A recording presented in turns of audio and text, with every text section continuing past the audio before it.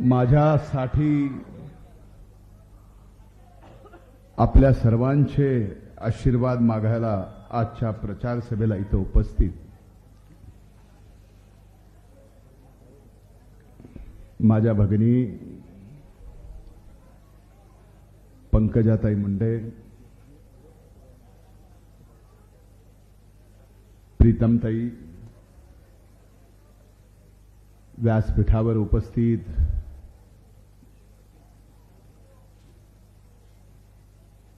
सर्वांची क्षमा मागून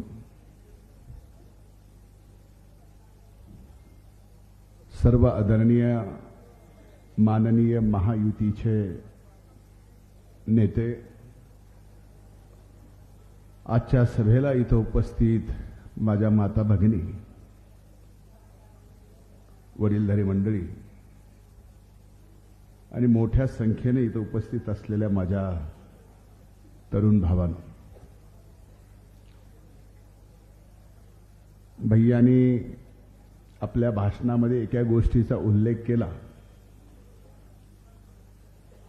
की आपल्या प्रचाराची सुरुवात ज्यावेळेस गाव भागातून या परळी शहराची सुरुवात केली त्याच वेळेस गणरायाचं दर्शन घेऊन चालू करताना गुलाल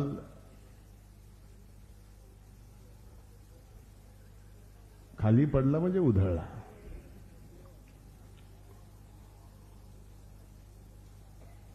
त्याच गणरायाचं आशीर्वाद घेऊन मी आज या परळी वैद्यनाथ विधानसभा मतदारसंघाचा महायुतीचा उमेदवार या नात्यानं आपल्याही सर्वांचं दर्शन घेऊन आज आशीर्वाद मागण्यासाठी उभा आहे. फार जास्त वेळ बोलणार नाही. मला जास्त वेळ ताईंना द्यायचा. प्रीतम ताईंनी भाषणात उल्लेख केला की त्यांचं भाषण मॅगी बनवण्यामध्ये साठी दोन मिनिट लागतात. पण आमच्या तिघांची सुद्धा एक खासियत आहे. एक ट्वेंटी ट्वेंटीचा प्लेअर आहे. एक वन डेचा आणि एक टेस्ट आहे.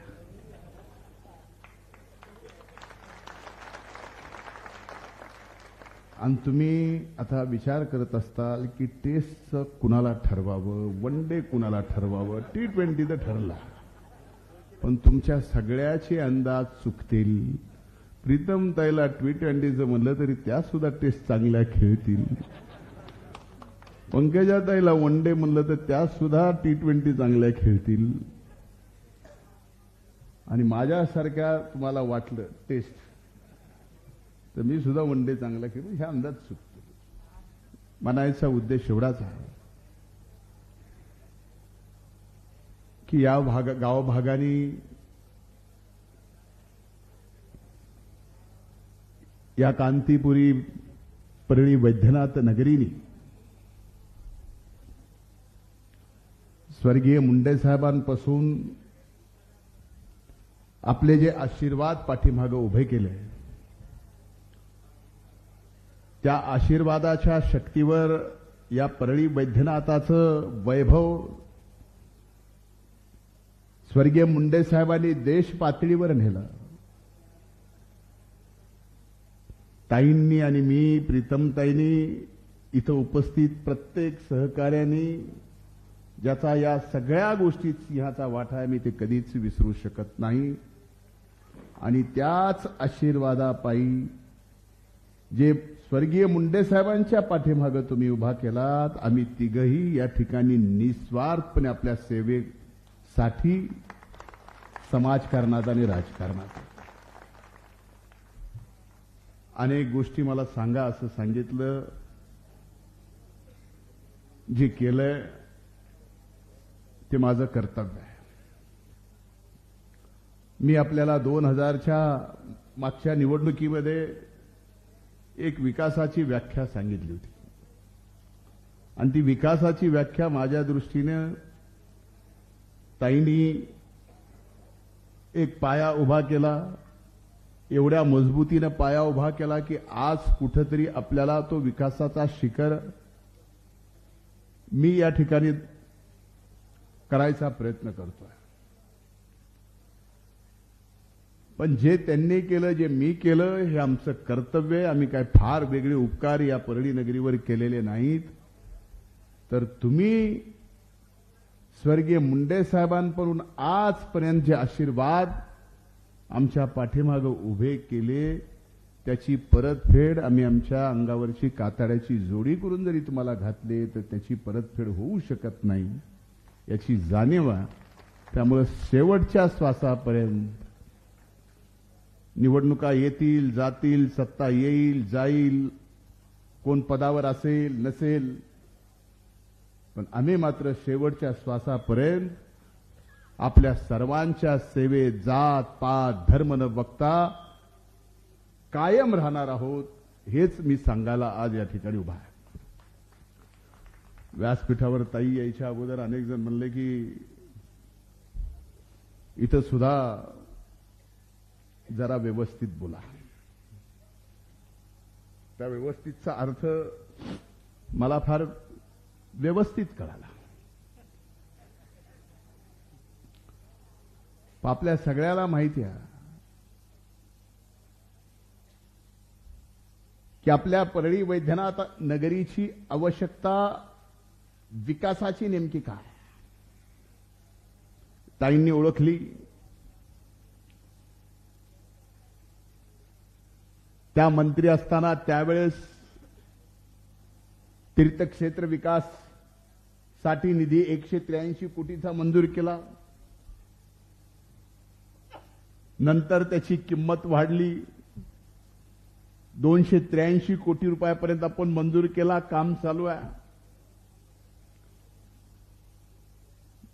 आपले सामान्य लोक परळी नगरीतले या तीर्थक्षेत्राच्या बाबतीत एवढे जागरूक आहेत की तीर्थक्षेत्र विकास आराखड्यामध्ये तई बटभैरव राहिला होता. राहिला नव्हता पण तो प्रायोरिटीमध्ये गव्हर्नमेंट जे ठरवतं त्या प्रायोरिटीमध्ये खाली होता. पण आज मी आपल्याला सांगतोय की आपल्या द्वादश पंचम ज्योतिर्लिंगाच्या या विकासासाठी तीनशे कोटी रुपयाचा निधी सुद्धा फार कमी आहे. आज या गणरायाच्या साक्षीनी मी आपल्याला शब्द देतोय. ताई भारतीय जनता पार्टीच्या राष्ट्रीय चिटणीस आहेत विधिमंडळात आमदार आहेत. मी शब्द देतोय की प्रसाद योजनेतून ज्या पद्धतीने उज्जैनचं ज्योतिर्लिंग कॉरिडॉर झालं. काशी विश्वनाथाचं झालं. त्याच्या बरोबरीनं आपल्या द्वादश परली ज्योतिर्लिंगाचा सुद्धा आपल्याला विकास करावा लागेल. आणि त्याचा शब्द आज मी देतोय की त्या प्रसाद योजनेमधून महाराष्ट्रातनं पहिला प्रस्ताव ताई आपण पाठवला सुद्धा केंद्राकडे लोकसभेच्या निवडणुकीच्या अगोदर. आणि तो प्रस्ताव शंभर टक्के मंजूर आम्ही करून देऊ हीच आम्हा नात्रेकरांची परंपरागत जी वैद्यनाथाची सेवा करायची आम्हाला दिलेले आई पुण्यश्लोक अहिल्या देवीने जे ना आम्हाला सेवा करायची अधिकार ती सेवा आहे. ती भक्ती आहे ती श्रद्धा आहे. पण या एका गोष्टीतनं जेवढ्या मोठ्या प्रमाणात या परळी नगरीतली अख्खी व्यापार पेठ ज्या व्यापाराला जात पात धर्म नसतो. प्रत्येक जण इथं कुठला ना कुठला व्यवसाय करतो. ती व्यापार पेठ एवढ्या पुढे जाईल की आज कुठं ना कुठं मागच्या कोविडच्या संकटाच्या काळातून बाहेर येऊन थोडंफार का होईना पाच वर्षाची परिस्थिती व्यापाराची आत्ता थोडीशी बदलली आहे वाढली आहे. पण मी आपल्याला विश्वास देतो की येणाऱ्या पाच वर्षात आपला परळी नगरीची व्यापार पेठ ही आज जी आहे त्याच्या पाच पटीनं वाढेल. तुमचा व्यापारही वाढेल उलाढालही वाढेल हाही शब्द देतो. विकासाच्या बाबतीत रस्ते नाली लाइट ह्या सगळ्या गोष्टी पदाच्या बाबतीत गाव भागाला काय दिलं? ते स्वर्गीय मुंडे साहेबांनी काही जणांनी या ठिकाणी उल्लेख केला. आपल्यालाही माहिती आहे.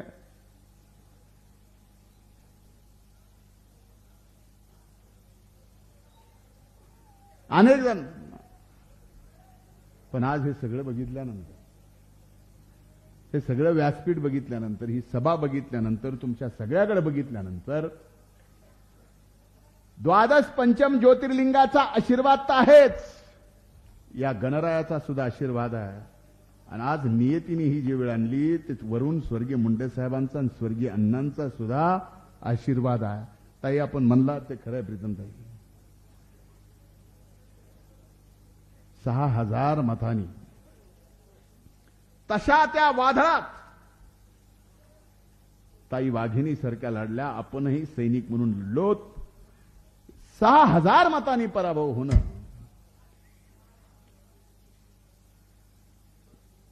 हे आपल्यापैकी अनेक जणाला जिवारी लागलंय पण माझ्या आपल्यापेक्षा नक्कीच तुझबर का होईना जास्त जिवारी लागलेला आहे. मौका सभी को मिलता है.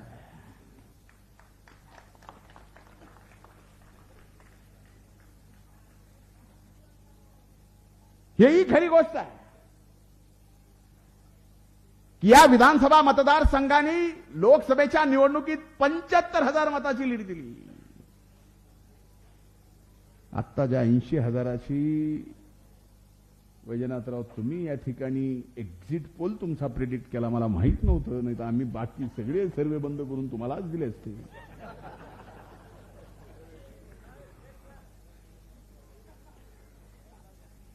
हरी मास्तर बसा खाली राहू पा बसा बसा बसा. तुम्ही एवढे आहेत उंचीला पण उभा राहिलात की मला उगच दडपण येतो.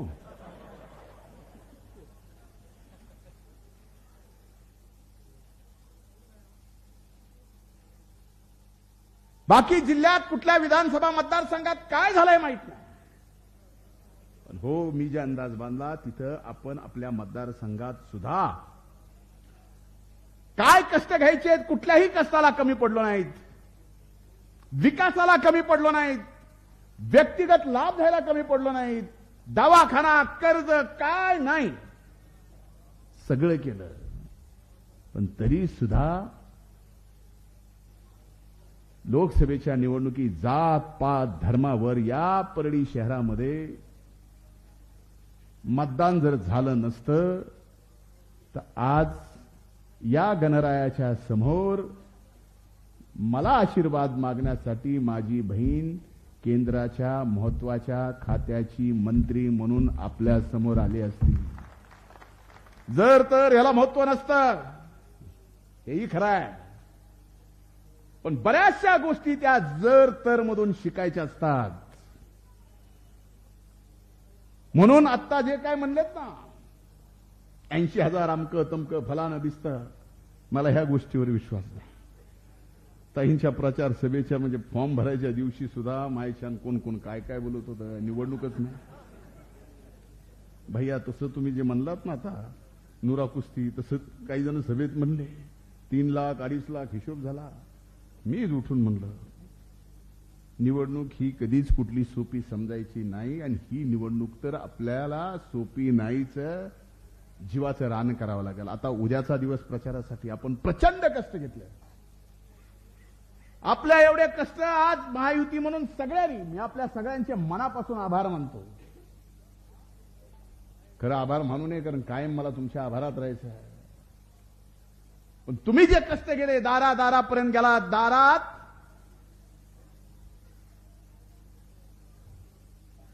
कुणी दिलंय? अच्छा अच्छा. बोलायचं? प्रत्येकाला मत मागितलं. आपण जेवढा प्रचारात घराघरापर्यंत गेलो समोरचा उमेदवार घरापर्यंत तरी पोचला नाही. पण भैया ही नुरा कुस्ती नाही. तुम्ही समजून घ्या ह्याच्यात राजकारण काय मला ज्या गोष्टीचा राग आहे ना ज्या गोष्टीचा संताप आहे ना ती हीच आहे. मी जे म्हणतोय की एवढे उमेदवार होते उमेदवारी द्यायला. पण त्योच का दिला या गोष्टीचा राग आहे कारण निवडणुकीचा निकाल काय लागेल याला याच्याशी काही घेणं देणं त्यांना. पण कायम आपल्या जातीपातीचं राजकारण पेटत राहिलं पाहिजे याच्यासाठी ती उमेदवारी आहे. दुसरं काय कारण असू शकतं मला सांगा?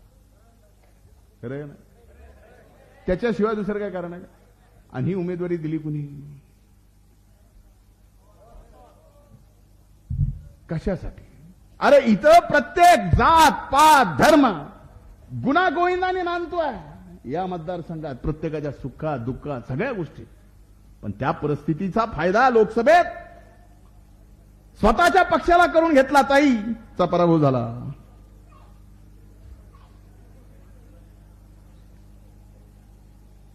आणि तोच प्रयत्न इथं सुद्धा. भैया कोणी ठरवलं जरी म्हणले की आपण नुरा कुस्ती करू आपल्याला नुरा कुस्तीत मजाच ना आणि तुम्ही इतके वर्ष झालं राव आपण जीवाचं राणी एकमेकासोबत करतो. आपलं तसं नसतं नुराबिरा नाही हा बोग ठोकून. चल ये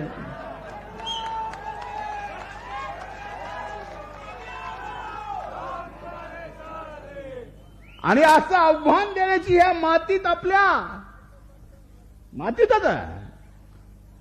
आणि ते आव्हान दिल्यामुळंच ही निवडणूक बघा कशा पद्धतीनं टार्गेट केली गेली. त्यामुळं मी कुठल्या लढाईला आणि कुठल्या गोष्टीला घाबरत नाही. फक्त माझी एकच प्रामाणिक इच्छा आहे. मतदान करताना एक गोष्ट तुम्ही लक्षात ठेवा. मतदान करताना एक गोष्ट लक्षात ठेवा. मी जर तुमच्यासाठी इमानदारीनं आजपर्यंत ताईनं तुमच्यासाठी इमानदारीनं आजपर्यंत जात पात धर्म न बघता विकास केला असेल सार्वजनिक. तर मतदान द्यायचं का नाही ठरवा? कधी कुणी आला दारावर? कशाही पद्धतीची गरज असो असल नसल जेवढं असल तेवढं. ते जर इमानदारीने केलं असेल तर मत द्यायचं का नाही ठरवा? अरे एवढं इमानदारीने झिजायला लागलो तर या निवडणुकीत कशा पद्धतीचा प्रचार चालू आहे? आणि तरी तुम्हाला वाटतं ही नुरा गोष्टी आहे. कुणाला वाटतं ऐंशी हजार? काय चालू आहे? अरे निकाल काय लागेल? किती मतं पडतील? हा विषय वेगळा. पण जो द्वेष आणि जे विष पेरल्या जात आहे ते द्वेष आणि विष पिढ्याना पिढ्या जाणार नाही तो सामाजिक समतोल जो बिघडेल त्याची काळजी या निवडणुकीपेक्षा जास्त मला आम्हा सगळ्यांना. म्हणून आपल्याला हात जोडून कळकळीची विनंती आहे. या निवडणुकीत आपल्या सगळ्यांना. मला अनेक सांगितलं की दोन एकर जागा आपण बौद्ध विहारला इथं दिली. अनेकदा आपण जाहीर केला. पंधरा कोटी रुपये आपण मंजूर पण केले होते. पण नंतर ज्यावेळेस प्लॅन सगळं आलं त्यावेळेस वाटलंय की या दोन एकर जागेमध्ये पंधरा कोटी जरा पैसे लईच कमी आहे. म्हणजे मग ठरवलं की भलेही पंचवीस चाळीस कोटी लागले तरी चालतील पण अशा पद्धतीने हे परळीतलं बौद्ध विहार करायचं उदगीरपेक्षा चांगलं आणि उभ्या महाराष्ट्रानं तालुक्याच्या ठिकाणी किती चांगलं भव्य बौद्ध विहार असतं ते दाखवून द्यायचं म्हणून नाही तर जागा तर ऑलरेडी दिली अडीच या गाव भागामध्ये जेवढा विकास केला कारण म्हणजे एवढ्या विकास हा मी नाही केला. ताईंनी नाही केला पण खाली सुद्धा जेवढ्या ताकदीच्या हत्तीच्या ताकदीच्या आहेत सकाळी त्या सगळ्यांनी. म्हणून पुढच्या काळातही कुठं कमी पडणार नाहीत. हा जोडून विनंती इथं सगळे बूथचे जिम्मेदार म्हणजे आता मी बाकी निवडणूक सोडून देणार मी बाकी विषय बोलणार नाही. बूथचे सगळे जण आलेत. आलेत ना? मग किती वाजता बूथवर यायचं ठरवलंय? दहा वाजता? दहा वाजता? सहाला. बरोबर आहे? यावेळेस या परळी वैद्यनाथ नगरीतून ऐतिहासिक मतदान तर झालंच पाहिजे. पण ज्यांनी ज्यांनी ज्या ज्या गोष्टीचा आपल्या मनात राग आहे ना आहे ना लोकसभेच्या पराभवाचा आहे अनेक गोष्टी ते काढा. आणि कायम या बीड जिल्ह्यात या मतदारसंघात जात पात धर्माचं राजकारणच राहिला पाहिजे.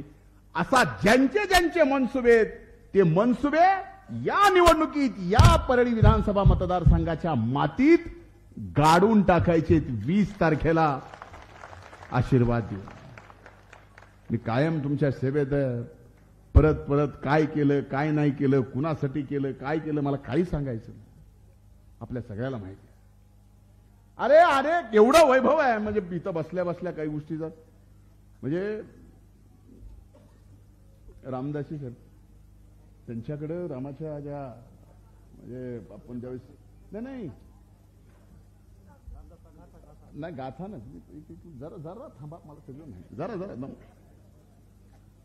ज्या मूर्त्या ज्याची पूजा होते ना किती वर्षापूर्वीच्या आहेत? साडेतीनशे वर्षापूर्वीच्या आहेत. हे वैभव फार मोठं आहे. रामदास स्वामी इथं मारुतीच्या त्यांच्याकडे तिथं आहे. ते सहज एकदा ते वाचलं आणि मी तिथं बसलो. म्हणजे अद्भुत आहे. द्वादश पंचम ज्यो ज्योतिर्लिंग अद्भुत आहे. ह्या सगळ्या गोष्टी या वैभव आहेत. या वैभव आपल्याला येणाऱ्या काळात याचं अधिक सर्व अर्थानं सर्व जात धर्म सगळ्यांचे या सगळ्या गोष्टीचा वापर करून याचं रूपांतर आपल्या सगळ्यांच्या जीवनामध्ये आपल्या सगळ्यांच्या उत्पन्नामध्ये सर्वार्थानं बदल घडवून देण्याचं वचन आज गणरायाच्या साक्षीने मी आपल्याला सगळ्यांना देतो. आणि विश्वास ठेवा शेवटच्या श्वासापर्यंत आपल्या सगळ्यांची सेवा करतो. अनेक जण वेगवेगळे म्हणाले आपल्याला सगळ्याला माहिती आहे. या म्हणजे या शहरातल्या सर्व जाती सर्व धर्म ज्यांनी ज्यांनी सभागृह मागितलं त्याला दिलं. ज्याला जागा नव्हती. जागा उपलब्ध करून दिलं. ज्याला जागा नगरपालिकेची आवडली नाही.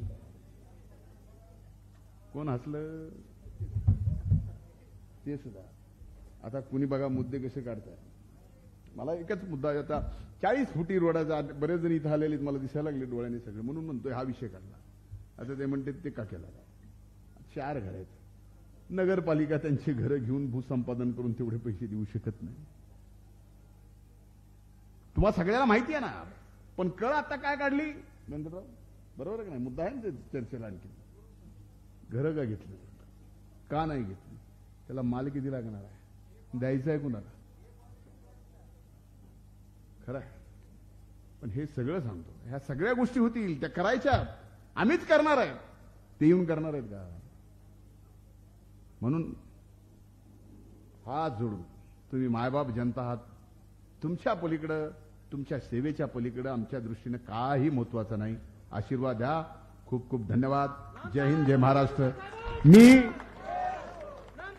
पंकजाताईंना विनंती करतो की आपण एवढी माझ्यासाठी मेहनत घेतली आहे. लहान्या बहिणीचे आभार मानून आहे. भावानी काहीतरी द्यावं.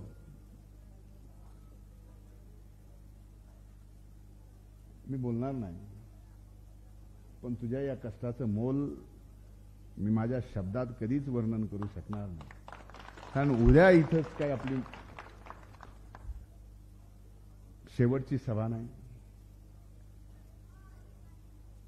त्यामुळं हे आत्ता बोलणं मला योग्य वाटलं म्हणून आणि ताईला विनंती करतो की मोठ्या भावासाठी तुला या ठिकाणी आशीर्वाद मागायचा आहे.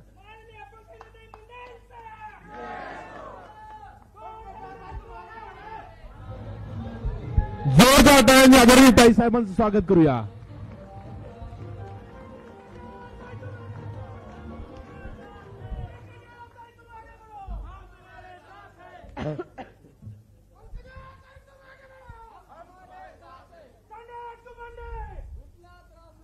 सर्व मुंडे. आज गणेश मंदिराच्या साक्षीने आशीर्वादाने होत असलेल्या परळी मतदारसंघाच्या पारंपरिक अशा प्रचार सभेला मंचावर उपस्थित महायुतीचे अधिकृत उमेदवार माझे भाऊ धनंजय मुंडे त्यांच्या प्रचारार्थ आवर्जून इथे उपस्थित असलेल्या खासदार मी तर माझी म्हणणार नाही. कारण त्यांनी जे खासदारकीत काम केलंय त्यांनी एक इतिहास रचलाय त्यामुळे नेहमी त्या खासदारच राहतील. खासदार प्रीतम ताई आपल्याला ज्यांनी मार्गदर्शन केलं आणि सांगितलं की काय परिस्थिती आहे मतदारसंघाची सर्कल वाईज ते माजी आमदार संजय भाऊ दौंड मंचावर खरं तर सर्वच जण उपस्थित आहेत आणि मी सर्वांनाच ओळखते. त्यामुळं मी आपल्या सर्वांची क्षमा मागते कारण मला दहाच मिनिटाचा वेळ आहे. या पंधरा मिनिटा पंचवीस मिनिटं असेल हां. तर त्याप्रमाणे मी सर्वांची दिलगिरी व्यक्त करते. मी सर्वांची नावं घेऊ शकणार नाही. समोर छान गुलाबी थंडी पडलेली आहे.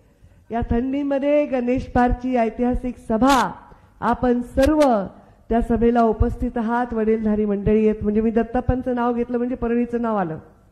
दत्ताप्पा आणि परळी एकसारखेच आहेत आमच्यासाठी. तेवढेच त्यांचं विश्वपितामह आहेत आमचे. आणि एवढे सभेला उपस्थित आहेत. मी धनुभाऊला म्हणलं काल पहिली आमची सभा ठरली. मग कॅन्सल होण्याचं चित्र दिसत होतं. मी म्हणलं कुठली सभा होईल नाही तर नाही होईल पण ही गणेश पारची सभा झालीच पाहिजे. कारण हा शुभ शकून आहे ही सभा आपल्यासाठी फार महत्वाची आहे. मी आपल्या सर्वांना विनंती करण्यासाठी इथं उभी आहे. खरं तर धनुभाऊ नंतर भाषण मला करायला लावायला त्या निवडणुकीत पण मी पण म्हणलं जाऊ दे आता उमेदवाराला पण मागून कोणतरी पाहिजे ना बोलायला. चला. कारण आता ते पालकमंत्री आहेत ते कृषी मंत्री आहेत ते नामदार आहेत पण कदाचित मी राष्ट्रीय नेता आणि स्टार प्रचारक असल्यामुळं माझं भाषण ठेवलं असेल शेवटी. आणि पुन्हा ह्या दोघांनी बॅटिंग करून घेतल्यानंतर पुन्हा मला काही उरतच नाही बोलायला. प्रीतमताई म्हणल्या दोन मिनिटाच्या मॅगीसारखं फास्ट भाषण करते. धनुभाऊ म्हणले आमच्यामध्ये एक जण ट्वेंटी ट्वेंटी खेळते कसोटी खेळते एक वन डे खेळते. पण या स्टेजकडे बघून मला तर आय पी एलचीच मॅच वाटायली भैया. आय पी एल जेव्हापासून सुरू झालं कोणत्या पक्षाचा को सॉरी कोणत्या टीमचा कोण खिलाडी सांगता येत नाही. सगळे खिलाडी मिळून एक टीम तयार होते. एक ऑस्ट्रेलियाचा एक वेस्ट इंडिजचा एक भाजप भा- भा- भाजप नाही भारताचा. असे सगळे मिळून आय पी एल होते. त्यामुळे खिचडीच होती की आपण नेमकं कोणत्या प्लेअरची आहेत. तसं आय पी एलची मॅच चालू आहे. फक्त इथं खिचडी नाही. आपल्याला स्पष्टता आहे. जनसंघाच्या दिव्यापासून ते आज घड्याळीला मत मागण्यापर्यंतचा प्रवास तुमच्या सगळ्यांच्या डोळ्यासमोर आहे. काही वेगळं मी सांगणार नाही. अनेक लोकांच्या आठवणी आपल्याला आज येतील. आज नक्कीच मला सामत काकांची आठवण आली. आज मला नक्कीच पन्नालालजी जैन यांची आठवण आली. लहानपणी बैठका व्हायच्या तर भारतीय जनता पार्टीच्या बैठका अशा व्हायच्या की अक्षरशः सतरंजीवर सुद्धा जागा पुरलेली नस असायची उरलेली असायची. तेव्हापासून भारतीय जनता पार्टीला तळागाळात प्रत्येक समाजात नेण्यासाठी ज्यांनी खस्ता खाल्ल्या त्या मुंडे साहेबांची आठवण केल्याशिवाय कसं होईल? आज मुंडे साहेबांची आठवण मला तर येतेच. पण या राज्यामध्ये कुठेही सभा घेतली तर मुंडे साहेबांचं नाव पाच सहा सात वेळा घेतल्याशिवाय भाषण पूर्ण होत नाही. आज तर मी बुलढाण्याला आकाश फुंडकरच्या सभेला घेतले गेले होते. तिथे हरियाणाचे मुख्यमंत्री आले होते त्या सभेला. आणि मी त्यांना म्हणलं की तुम्ही हरियाणाने एक वेगळाच असा एक रेकॉर्ड केलेला आहे. हरियाणाचं सरकार येईल असं कुणाला वाटलं नव्हतं पण तुम्ही हरियाणाने रेकॉर्ड करून सरकार आणलेलं आहे. आणि तुमच्यामुळे आमच्यामध्ये एक आनंदाचं वातावरण तयार झालेलं आहे. या वैद्यनाथाच्या नगरीत मी खूप देवभक्त कधीच नव्हते. पण माहीत नाही दोन वर्ष झाले. वय असतं माणसाचं वयावानाप्रमाणे सवयी वेगवेगळ्या आपल्याला असतात. मला आता देवपूजेची सवय लागली. काय चुकली नाही चांगली सवय काय वाईट आहे? मी देवपूजा केल्याशिवाय अन्न ग्रहण करत नाही. मला ही सवय लावली मध्य प्रदेशनी. मध्य प्रदेशमध्ये मी जेव्हा पण शिवराजजी चव्हाणांबरोबर कार्यक्रम घ्यायचे तेव्हा ते म्हणायचे सगळेजण जय महाकाल जय महाकाल. मी म्हणलं आमच्या परळीत का कुणी जय वैद्यनाथ म्हणत नाही बरं? आम्ही का आमच्या ज्योतिर्लिंगाचा असा अभिमान बाळगून इथे बोलत नाही? म्हणून मी खूप आग्रह केला सुधीर भाऊ मुनगंटीवार पण महादेवाचेच भक्त. सुधीर भाऊला मला सुधीर भाऊ आपण अशी एक स्कीम करू की प्रत्येक ज्योतिर्लिंगाला आपण दोनशे दीडशे सव्वाशे कोटीचं बजेट मंजूर करून टप्प्याटप्प्याने देऊन त्या भागाचा विकास करू. सुधीर भाऊंनी स्वतः ती स्कीम मंजूर केली. त्या स्कीमचं उद्घाटन देखील त्यांनी केलं. पण ती स्कीम पूर्ण करायला आपण मला संधी दिली नाही. एकोणीसला आपण सांगितलं ताई थोडं तुम्ही घरी बसा. पण काम काय आणलं नाही. मी जरी बसले तरी धनुभाऊ आले. आणि मोठ्या निधीची ते तरतूद झाली.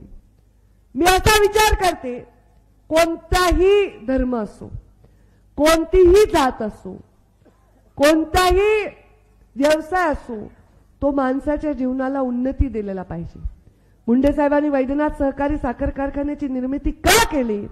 कारण या भागावरच्या लोकांना बांधावर ऊस जाळावा लागला होता आणि त्यांचा ऊस कोणी नेत नव्हतं त्यांना पदर पसरावं लागत होतं. जेव्हा मी कारखान्याचे चेअरमन झाले मी दोनशे त्रेचाळीस कोटी रुपये व्याज भरलं. अक्षरशः माझ्या छातीवर रात्री मला झोप यायची नाही. माझी आई म्हणायची तू वेडी होशील. सकाळी उठ- झोपायची नाही मी. असं वाटायचं कोणतरी बसलंच नरड्यावर. एवढं वजन वाटायचं. कारण दोन हजार बाराला आपण जे कोजनरेशनचा प्रयोग प्र- प्रकल्प पूर्ण केला त्याला आपल्याला जे जास्त व्याजाच्या दराने आपल्याला कर्ज घ्यावं लागलं आणि त्याचं पूर्ण वेळेवर न झाल्यामुळे आपल्याला जास्त व्याज पडलं त्याच्यानंतर दुष्काळ आला आणि दुष्काळानंतर राजकारण तर पाचवीलाच पुजलेलं आहे. माझ्या कारखान्याला मदत व्हावी म्हणून अशा अनेक आजारी कारखान्याला मदत व्हावी म्हणून मी दोन हजार सोळा साली एक प्लॅन तयार केला कॅबिनेटचा तेव्हा मला फक्त चौतीस कोटीची आवश्यकता होती ते पण फुकट नाही पाहिजे व्याजाने पाहिजे होते. तेव्हा माझे सहकारी होते राहुल कुल त्यांचा पण कारखाना होता मोनिका राजळेंचा होता एक पाच सहा कारखाने आजारी होते. त्याच्यामध्ये माझं राहून गेलं नंतर दोन तीन चार वेळा माझं राहून गेलं. आणि मग तुम्ही तर पाहिल्या बातम्या कुठे जप्ती आली काही आली. धनुभाऊ सांगत होते मार्केटमध्ये उठाव येईल उन्नती येईल. वैद्यनाथ मंदिराचा जेव्हा जीर्णोद्धार जीर्णोद्धार नाही ते काय? कॉरिडॉर होईल. त्या जीर्णोद्धारच म्हणले कारण पुण्यश्लोक अहिल्या देवींनी जीर्णोद्धार केलाय वैद्यनाथ मंदिराचा. आणि आम्ही तिथे जेव्हा एक कॉरिडॉर तयार होईल धनुभाऊ म्हणले ते बरोबर आहे. ते भैरवच मला सापडत नव्हता धनुभाऊ. की परळीचा भैरव कोण? कारण मी महाकालला बघितलं तिथे काल भैरव आहे. मी बऱ्याच लोकांना विचारलं ट्रस्टीजना विचारलं भैरवच कुणी सांगले ना किती आपलं ज्ञान आहे आपल्या शहराविषयी? कोणी म्हणलं काल भैरव मग मला तिकडं ते गावात एका मंदिरात पाठवलं कोण मग ते बटू भैरव मिळून कळलं. ते पण आता समाविष्ट करून ते झालं ना तर लोक इथे येतील. इथे लोक हॉटेल बांधतील लोक इथे राहतील जेवतील. त्यांना करमणुकीसाठी वरती मेरूवर आपण सगळी व्यवस्था केली आहे. स्क्रीन लेझर शो सगळं म्हणजे पूर्ण पूर्ण परळी म्हणजे असं दुमदुमून जाईल. आणि या भागाच्या व्यवसायाला उठाव मिळेल. कारखाना बंद असल्यामुळे नाही म्हणलं तरी मार्केटवर परिणाम झाला होता. परवाच मी रोलरचं पूजन केलेलं आहे. आचारसंहिता असल्यामुळे आधीच डिक्लेअर करते आचारसंहिता असल्यामुळे आम्ही परवानगी मिळाली तर आधीच करू पण नाही झालं तर एकवीस का काय तारीख सांगितली मीच विसरले. एकवीस पंचवीस काहीतरी त्यांनी मुहूर्त आहे मी परत कन्फर्म करीन. त्या दिवशी मी मोळी टाकण्याचा कार्यक्रम करणार आहे. फक्त एक एक कारखाना आता माझ्या ताब्यात नाही. कारण जप्ती झाली डीआरटीची कारवाई झाली बँकांची कारवाई झाली. आणि मग पर्याय नव्हता माझ्यासमोर.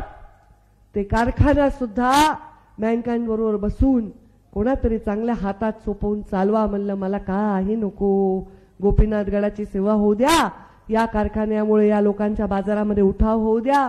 लोकांच्या नोकऱ्या परत द्या लोकांचा ऊस न्या. म्हणजे माझ्या लोकांना ऊस बांधावर टाकावं लागणार नाही कोणाच्या पाया पडावं लागणार नाही. आणि दुसरं आमच्या या वैद्यनाथ नगरी वैद्यनाथाचा पूर्ण कॉरिडॉर तयार झाला तर इथे एक उठाव. येईल धनुभाऊनी तर सांगितलंय की त्यांच्या भाषणात अनेक वेळा की मुंगीचा कारखाना ते सुरू करणार आहेत. म्हणजे या भागामध्ये एक औद्योगिक क्रांती करता येईल आपल्याला. पाणी नाही आपल्याकडे हा एक प्रॉब्लेम आहे. पाण्यासाठी सुद्धा लिफ्ट इरिगेशनचा वगैरे आपला प्लॅन आहे. पाणी उपलब्धता नव्हती. तेरा चौदा पंधरा एवढा दुष्काळ आला. त्याच्यामुळे मी करू शकले असते पण पाणी उपलब्धच नसल्यामुळे ते एक विषय आपल्याला मार्गी लावायचा आहे. हे सगळे विषय तसे मार्गीच लागलेत. प्रत्यक्षात उतरायला तेवढं काम होणारच आहे. नॅशनल हायवे झालेत. इथून लातूरला सहज जाता येतं. इथून बीडला सहज जाता येतं. इथून और म्हणजे संभाजीनगरला जायला तर म्हणजे पोटचं पाणी देखील हलत नाही. माझा मुलगा अमेरिकेत शिकतो त्याच्यानंतर सुट्टीला आला.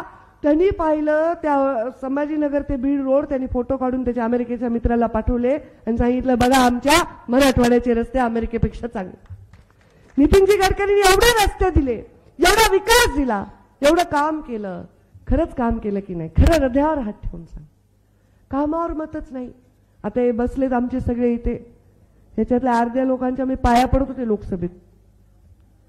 काय रे व्यंकटेश?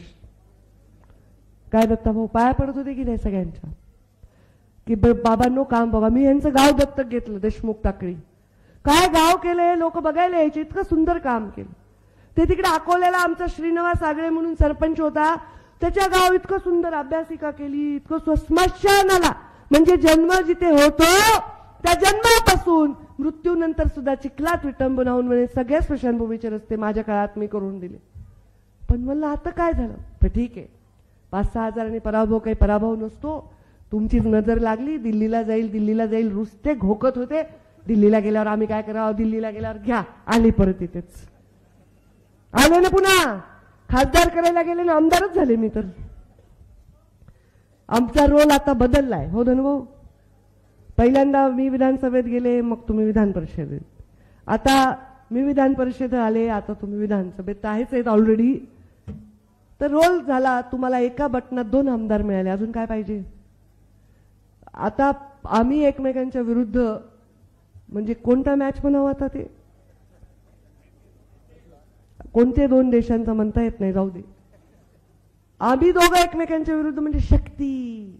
सगळंच जायचं जास्तच. कोणी म्हणायचं ते असं करायलेत की मी असं. किती काम रे. मला मला आठवते सामुदायिक विवाह सोहळे धनुभाऊने किती घेतले असतील? मी घेतला गोपीनाथ मुंडे प्रतिष्ठानतर्फे. त्या नव प्रत्येक नवऱ्या नवरीला एक एक लाखाचा चेक दिला त्या अक्षय कुमारनी. ते आले त्यांनी माझ्या हातात एवढं मोठं गटूनच दिलं. प्रत्येक एक एक लाखाचे शंभर चेक मी हे काय करू मी? छत्तीस मी वापस केले त्यांना एवढं कौतुक वाटलं की वापस केले म्हणून. म्हणजे एवढं काम केलं. आता कोविडमध्ये लोक मरत होते. घरी स्वयंपाक करायला बाईला जर कोविड झाला तर स्वयंपाकाला अव- व्यवस्था नव्हती. कोविड सेंटर आम्ही चालवलं. प्रत्येकाच्या घरी डबे पोचवले. प्रत्येक माझ्या कोविड सेंटरमध्ये महिला आणून लोकांनी ठेवल्या. जुळे लेकर महिला लेकुरवाळ्या म्हाताऱ्या अगदी माहेरी आल्यासारख्या सांभाळल्या. पडल्यावर केलं हे मी. पडल्यावर सोडलं नाही. काम करणं. करत राहिले करत राहिले. आताही करत राहू. पण कसं आहे अनुभव लागतो कामाला. राजकारणाला इतिहास लागतो भूगोल लागतो. सवय असते राजकारणाची. माणसांची सवय सोपी नाही आहे. लोकांना वाटते कुणी येते की राजकारणात निघाले अरे सकाळपासून रात्रीपर्यंत माणसं नुसते गाराने सांगतात सोपं नाही राजकारण करणं मी तर बाई माणूस असून कस काय रमले तुमच्या ह्याच्यात मला माहीत नाही. मी तर साहेबांना म्हणत होते मला नाही मला नाही. पण आता त्यांना बिचाऱ्यांना वाटलं असेल की माझं जीवन संपलंय. त्यांना कुठेतरी दिसत होतं. ते सारखे म्हणायचे माझी शेवटची लोकसभा आहे माझी शेवटची लोकसभा आहे. त्यांचा मी मुलगा मुलगी काही मायामध्ये फरक नसतो पण आता आपले लेकरं लेकरच असतात. त्यांना वाटत असेल की पंकजामध्ये काहीतरी गुण आहेत. आहेत का? का नाही आहेत? पाच वर्ष पश्चाताप झाला का तुम्हाला दहा वर्ष? नाही. आणि मग आमच्यात जास्त गुण आहेत ना आमच्या घरात. आम्ही करावं काय? आम्ही सगळे गुणवान आहोत. काय वाईट आहे? सगळे सगळीकडे जाऊन काम करू शकतो. काय वाईट आहे? का आम्हीच तिघ आहेत? सगळे राजकारणात तुम्हाला सांगू शकते मी. हजार नावं. ज्यांच्या घरी दोन आमदार एक खासदार तीन सगळे